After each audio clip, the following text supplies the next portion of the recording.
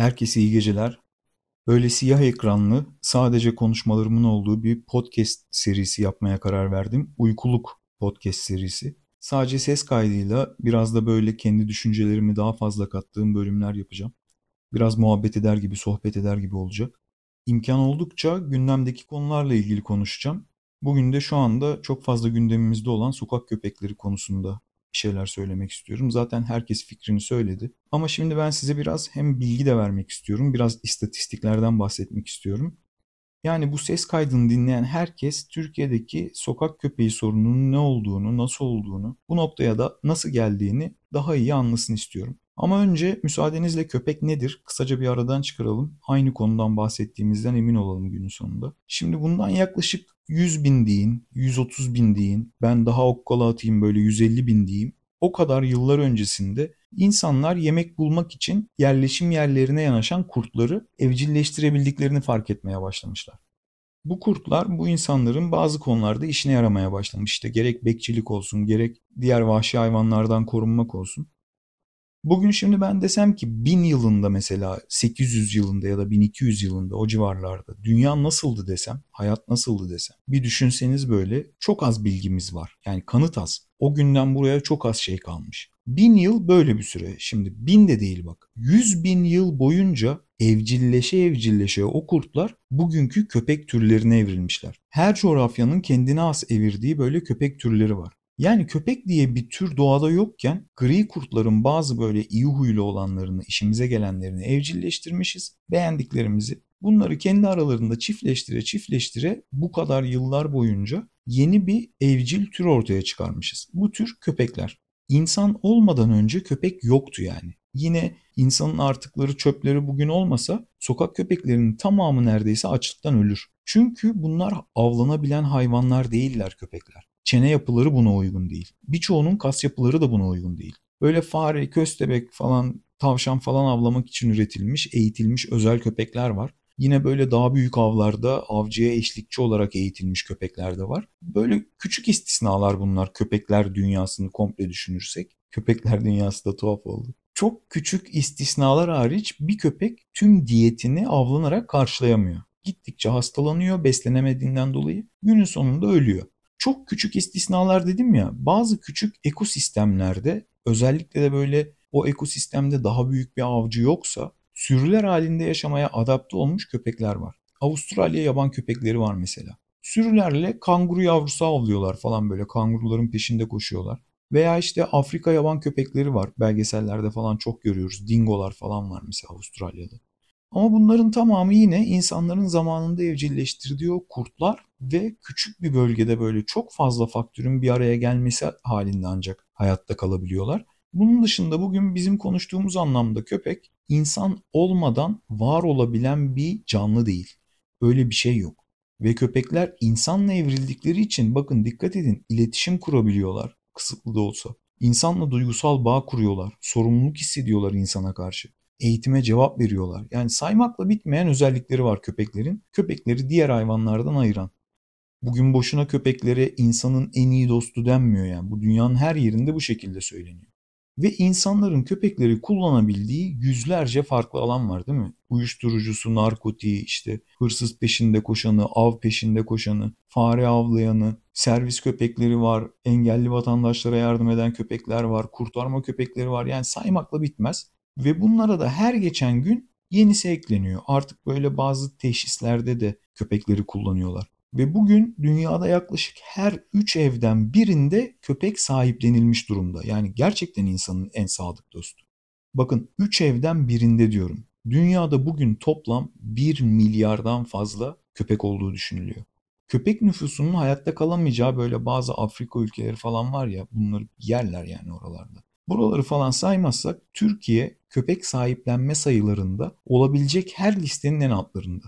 Kategorisi ne olursa olsun. Avrupa ülkeleri içinde en az köpek sahiplenilen ülke açık ara farklı Türkiye. Her 100 evden ikisinde bile köpek yok. Hani biz böyle dalga geçiyoruz ya mesela Çin'dekiler köpek yiyor, Çin'e gönderelim falan yazıyorlar bizim bu sokak köpeklerini. Çin dünyanın en çok köpek sahiplenilmiş ikinci ülkesi Amerika'dan sonra. Bizde böyle birden fazla köpek olan evlerdekini diğer evlere, toplam evlere dağıttığımızda bile 100 evden 5'inde köpek yok. İçinde bulunulan durumu anlamak için bunlar böyle bilinmesi gereken sayılar. Yani kısaca dünyada köpek sevme konusunda böyle herkes konuşur, söz en son bize gelir. Zaten biz konuşunca da hiç kimse dinlemez. Çok köpek seven bir ülke değiliz. Bunun çok çeşitli sebepleri vardır. Coğrafyaya göre, bölgeye göre Türkiye'de. Kültürel vardır, dini vardır, ekonomik vardır. Bunların hepsi tartışılır. Ama günün sonunda köpek bakan çok küçük bir azınlık var. Aslında köpeğe merhametsiz değiliz, böyle duyarsız değiliz ama üşengeciz. Atatürk hani Türk milletini idealize ederken Türk milleti çalışkandır, Türk milleti zekidir diyor ya. İki tane en çok geliştirmemiz gereken yeri işaret ediyor aslında. İşte köpek sevdiği halde sahiplenmeyenlerin çoğu üşengeçliğinden sahiplenmiyor. E bunun bakımı var, ilacı aşısı var, tüyü temizliği var, hastalığı, yarası, beresi, paraziti 10-15 yıl sürecek bir sorumluluk üstlenmek gerekiyor. Ve bazı insanlar bunu istemiyor. O yüzden de hayvanları uzaktan seviyorlar. Bunda yine bir sorun yok aslında. Asıl sorun şehirlerde ve köylerde bu bakamayacağı köpekleri sahiplenip sonra da bu insansız yapamıyor dedik ya. İşte bu insansız yapamayan canlıyı bir başka insana da vermeyip sokağa bırakanlarla asıl sorun başlıyor. Sokağa bırakılan köpek hala insandan bağımsız değil bakın. Özellikle beslenebilmek için hala insana muhtaç. Çünkü doğal olarak avlandığı bir alan yok. Öyle bir canlı yok onun doğal avı olan. İşte bu sokağa bırakılan köpekler ürediklerinde doğan yavruları ilk gözlerini açtıkları andan itibaren yani annesi gibi değil ilk gözünü açtığı andan itibaren insandan ayrı büyümeye başlıyorlar. Ve bir sürüye dahil olup bu kötü şartlarda hayatta kalma işine ayak uydurmaya çalışıyorlar. Adapte oluyorlar bu dünyaya. Ve köylerde bu dışarı bırakma daha sık oluyor. Hatta köylerde daha da vahşi oluyor bu işler. Köylü zaten bir amaca yönelik olarak köpek bakıyor. Yani köpek işine yaramadığında da serbest bırakıyor zaten. Köylünün düşünce yapısına göre bunda da bir sorun yok. Çünkü hayvan köylüye göre insanın bir malıdır. İşine yaramadığında atarsın, işine yarayacak yenisini alırsın. Köylü de ne yapıyor? İşine yaramayacak yaşa gelmiş köpeği bırakıyor ya da fazladan yavruları salıyor sokağa. Kovuyor evinin etrafından yani onu ona bakmıyor. Sadece işine yarayacak olan köpekleri tutuyor. Onları besliyor. İşte şimdi bu saydığım bütün bu sebeplerle bizde bizim ülkemizde sokaklarda kontrolsüz üreyen köpek nüfusu var ve bu nüfus katlanarak arttığı için her 40-50 senede bir sorun yaratıyor. Bu konuda daha bilinçli böyle bizden daha az üşengeç olan ülkeler var. Bu toplumlarda sayı olarak bizden çok daha fazla köpek olmasına rağmen sahiplenilmiş sokak köpeği diye bir şey bulunmuyor. Köpeğin sadece insanın yanında ideal bir hayat yaşayabileceğini bilen insanlar var oralarda. Bu kişiler imkanları varsa bazen böyle sırf iyilik olsun diye bile gidiyor barınaktan bir köpek alıyor. Bu hayvana işte yaşına göre artık bir sene olur, hayvanın ne kadar ömrü kaldıysa 3 sene olur, 5 sene olur. Köpek öldüğünde de böyle ona güzel bir hayat sağlamış olmanın rahatlığını istediği için o köpeğe bakıyor güzelce. Sonra bu köpek öldüğünde isterse ara veriyor, isterse gidiyor yeni bir köpek sahipleniyor. Bizdeki gibi köpeğiyle nikah kıymıyor, onu kutsallaştırmıyor. Ona çok iyi bakıyor ama amacı zaten ihtiyacı olan bir hayvana güzel bir yuva sağlamak bu kişinin. Barınaktan alınan her köpek de böyle ülkelerde önce eğitime gönderiliyor. İnsanın yanında böyle onun hızında yürümesi, dikkatini dağıtan şeyler olduğunda tepki vermemesi ya da vermeden önce insanından otorite beklemesi, tuvalet eğitimi vesaire insanın böyle günlük hayatına ayak uydurabilecek seviyeye getiriliyor köpekler. Sonra da güzel bir hayata kavuşuyorlar bu insanın yanında. Bizde hem sahiplendirme hem de köpekleri eğitime gönderme bilinci o kadar yerlerde ki konu hiç konuşulmuyor bile. Varsa yoksa kısırlaştırma konuşuluyor. Gündemde hep hayvanseverlerin böyle sürekli ortaya attığı kısırlaştırma konusu var. Hiç eğitim konusu yok, hiç sahiplendirme konusu yok. Halbuki kısırlaştırmayla başıboş köpek sorununun böyle kontrol altına tam olarak alınabildiği bir örnek yok. Maalesef doğa böyle işlemiyor. Doğada her şeyi planlayamıyorsunuz. Köpeklerde doğurganlık o kadar yüksek ki her 10 köpekten 7'si hiç üremeden kısırlaştırılırsa ancak matematik oturabiliyor. Yani bunun ne demek olduğunu bakın bir düşünün. İnsanda kadın başına 2'den fazla çocuk olmazsa insanda nüfus azalıyor. Köpekte her 10 köpekten 7'si kısırlaştırılmazsa nüfus artıyor.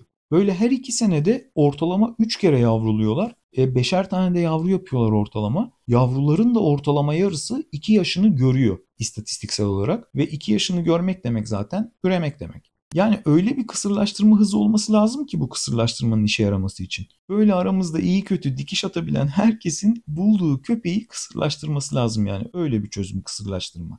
Halbuki en konuşulmayan konular sahiplendirme ve köpeğin eğitimi dedik değil mi? İşte köpek nüfusunu kontrol altına almanın bilinen başarılı örnekleri olan tek yolu sahiplendirme. Çünkü sahiplendirilmiş bir köpek tüm cinsel hayatı bu köpeğin, tüm üreme kapasitesi artık bir insanın kontrolünde değil mi? İnsan isterse bu köpek üreyebilir veya insan isterse köpeğini kısırlaştırabilir. İşte bak ülkemizde köpek sahiplenme oranlarının dünyanın geneline göre böyle anormal düşük bir seviyede olması köpeklerin evlerde kontrollü ve iyi hayatlar yaşaması yerine sokaklarda böyle başıboş, vahşi bir hayat yaşamasına sebep oluyor. Bu hızlı üremenin sonunda da işte bak bugün ülkemizde iki tür yani köpek ve insan kısıtlı alanlarda karşı karşıya geliyor. Hem de bu denklemde hem köpekler eğitimsiz hem de maalesef insanımız eğitimsiz. Köpekler zaten eğitimsiz ama insanlar o kadar berbat bir haldeler ki bilgi konusunda bagajlarına doldukları mamaları böyle yol kenarına, parklara, sokak köpeklerinin önüne döküyorlar.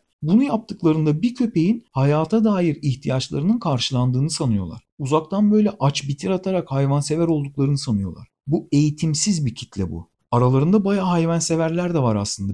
Yani samimi olarak hayvanseverler de var. Bu kişiler gidiyorlar paraya kıyıyorlar. Tavuk, et falan alıyorlar böyle sokak hayvanlarına. Ama işte bak bilmiyorlar ya yazık hayvanlar parazite teslim olmuşlar. Yenilmişler. Bitten pireden artık kaşınamıyorlar bile artık. Kaşınma gereği duymuyorlar. Bunu normalleştirmişler. Bak insanın en iyi dostunun içinde bulunduğu duruma bak. Buna sen kafasına böyle salam attığın zaman bu hayvanın ihtiyaçlarını karşılamış olmuyorsun insanla en iyi iletişim kuran, en iyi bağ kuran en sadık tür işte bak böyle eğitimsiz hayvanseverler bir sahiplendiler bu işi. Bir yaygara kopardılar yok işte sokaklar onlarındır şuna karışamazsınız buna karışamazsınız. İşler ne noktaya geldi bakın. Köpekler kendi aralarında bile kendileri hayatta kalmakta iyice zorlanır hale geldiler. En sevdikleri böyle uğruna yangın çıkardıkları hayvanlar işte bak akıbetleri, hayat kaliteleri şu an ortada sokak köpeklerinin acınası haldeler. Bak köpek sahiplenmeyen veya sahiplenmek istemeyen insanda da bir sorun yok. Ama herkes sahipleneceğini sahiplendikten sonra ortada kalan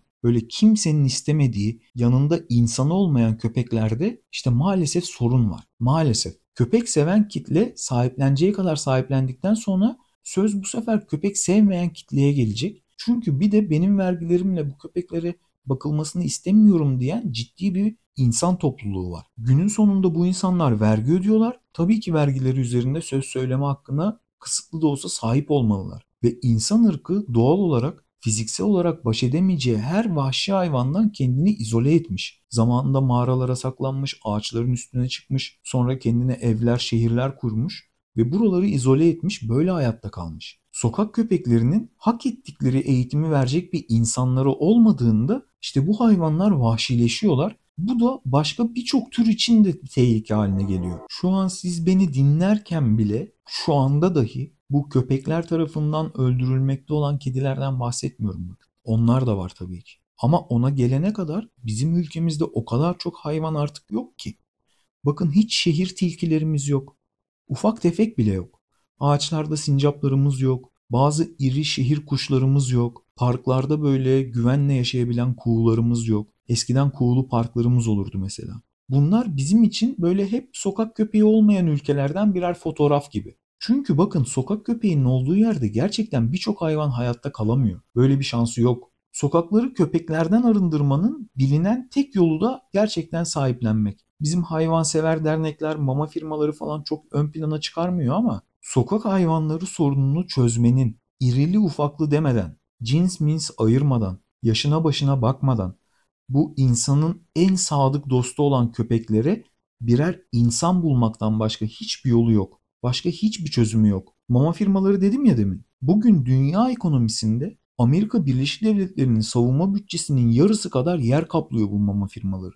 Bakın Amerika'nın savunma bütçesi diyorum ya onu takip eden Rusya, Çin falan gibi ülkeler de dahil olmak üzere ilk 10 en güçlü ülkenin savunma harcamasının toplamından daha büyük Amerika'nın savunma bütçesi. İşte mama piyasası bu Amerikan savunma bütçesinin yarısını geçmiş durumda. Veterinere bir gidiyorsunuz, e benim sattığım mamayla beslemen lazım diyor. Şu şu markaları tavsiye ediyorum diyor. Bak onun diyor şu oranı şöyle bu oranı böyle diyor. Bendekinin böyle böyle diyor. Köpe senin köpeğine bu uygun diyor. Lifli mama var, organik mama var. Ya vegan mama var ya. Vegan köpek mamaları var. Ya şimdi insan duygusal hayvan diyorlar ya. İnsan duygularının en uç noktalarda manipüle edildiği alanlardan biri. Bugün bu köpek maması sektörü. Ülkemiz için söylüyorum, Türkiye için söylüyorum. Bizim gibi böyle normal denetimin de olmadığı, herkesin kafasına göre dünyanın sanki hakimiymiş gibi takıldığı ülkeler var ya. Bu ülkelerde, bizim ülkelerde mama endüstrisi köpek bakmayanlara da mama satmanın böyle çok etkili bir yolunu buldu şu anda. Altın yumurtlayan bir tavukları var. Paravan hayvansever sayfalar yapıyorlar dernekler, STK'lar falan. Milyonluk mamalar böyle sırf sokaklarda yaşayan köpeklere verilmek için köpek bakmayan kişiler tarafından satın alınıyor. Normalde köpek bakmayan kişi bu mama firmasının müşterisi değilken sokak köpekleri sayesinde tüm hayvanseverler bunların müşterisi haline geliyor. E bu piyasanın oyuncuları da tabii ki doğal olarak sokak köpeklerinin varlığını destekliyor. Köpek diğer hayvanlar gibi değilmiş. Yok bir insanın varlığına ihtiyacı varmış, köpeğin iletişime ihtiyacı varmış, sevgi göstermek gerekirmiş. Köpeklerde psikoloji varmış, kıskançlık varmış, gurur varmış. Ya bunlar bu hayvansever tayfanın ya da hayvansever gibi görünen tayfanın hiç umurunda değil. Sokaktaki köpeklere üzülmüyorlar. Bu kişiler mama satabildiği sürece işte büyük başlar mama satabildiği sürece veterinerler böyle kaza falan yapmış, araba çarpmış hayvanlar getirildiğinde binlerce lira fatura kesebildiği sürece sokaklarda her gün korkuyla yaşayan bu milyonlarca dostumuz, bu milyonlarca köpek maalesef bu aç gözlü kapitalistlerin hiç umrunda değil. Sadece köpeklerin bu koşulda yaşamasını umursamıyor da değiller. Bu hayvanların zarar verdiği o diğer minik hayvanları da umursamıyorlar. Bu köpeklerin zarar verdiği insanları da, çocuklarımızı da umursamıyorlar. Sırf para için hem sokaktaki köpeklerin hem mahallelerdeki, köylerdeki insanların hem de böyle her gün okula gidip gelen çocuklarımızın, her gün işe gidip gelen vatandaşlarımızın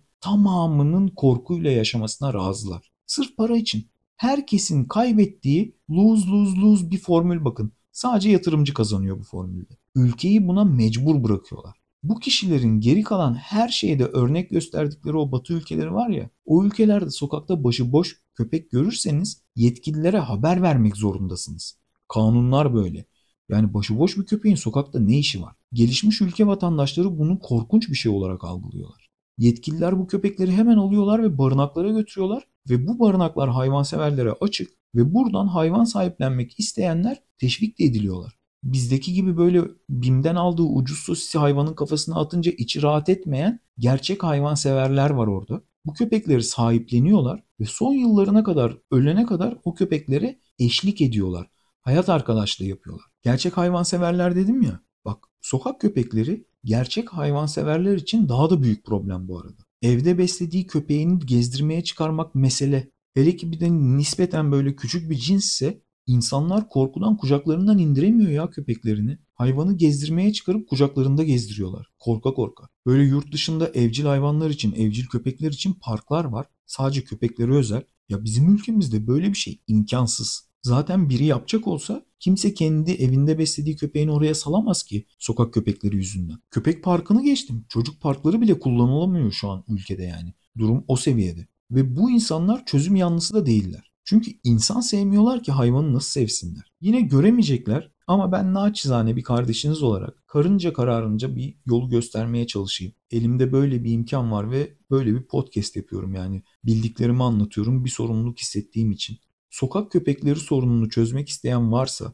ilk işi gidip sokaktan bir tane köpek almak. Bunu sahiplenmek ve ona bir yuva sağlamak. Bakın bunu yapmayan hiç kimsenin köpekleri savunmasını dinlemek anlamlı gelmiyor bana. Ben hem köpek sahiplenmek istemiyorum diyorsun hem de sokaktaki köpekleri ellemeyin diyorsun. E tamam sizi kimse dinlemeyecek.